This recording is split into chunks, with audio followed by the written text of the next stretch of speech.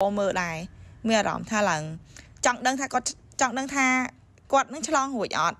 នេះហើយគាត់នឹងនេះបងប្អូនឃើញអត់ពេលចុះទៅដល់ជ្រៅគឺគាត់ចាប់ដើមឈរហើយព្រោះដោយសារទឹកនឹងដល់អាកន្លែងដែលគាត់អង្គុយហ៎ចាហើយ